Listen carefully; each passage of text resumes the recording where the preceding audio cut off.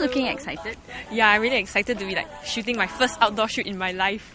Okay, so how did you practice for today's shoot? Oh, I did a lot of things. Okay, um, you know, whenever before you shower, you've got nothing to do sometimes. Okay, this sounds wrong. But anyway, so Yes, um, before I shower, I just stand in front of the mirror. So I practice a lot of different things. I try to tiptoe because we'll be wearing heels. So I try a lot of different postures uh, just to see which would look good. Which I have two younger sisters. One is in Sec 2 this year, the other one's in Sec 1. They were like trying, they, they saw me doing it and they were asking, What are you doing? So I just told them what I was doing and then they tried to tell me how to do this, how to do some different poses. Like they suggested poses for me to try. My younger two sisters, they sometimes go crazy. Like they will fight each other, like mock fighting. So I'll be the mediator. Like in the car, I'll sit in the middle so they can't fight each other. I like to read. I hate studying.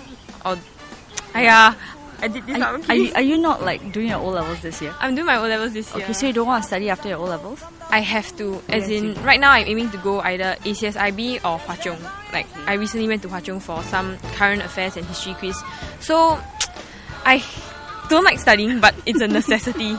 I want to be a lawyer. Mm-hmm. I want to be a SIA girl mm-hmm. because it looks fun. Like you get to travel the world, and I love airplane food, especially the desserts. Okay, you are one strange chick, but that's okay. I was oh sorry. Um, I would also, oh, I, ugh. I would also like to be a hired assassin, but only to kill like criminals. Weird. So you want to be like Elektra? Yeah. I like to read Stephen King. Basically, things that are a bit more morbid. I don't really like chick flick because um, more or less they're yeah they're more or less the same sometimes. So I like horror. There's a series, there's a whole series by Richard Laymon. It's very scary. It's disturbing because it shows everyday people getting into really horrible situations. I like eating chili. I love ice cream. And I used to love chocolate a lot. I still have a sweet tooth, but obviously now I'm trying to cut down because chocolate is bad for the skin. Okay, so do you think your dietary habits will change now that you are planning to be a model of sorts? Hmm, I think I will drink more milk.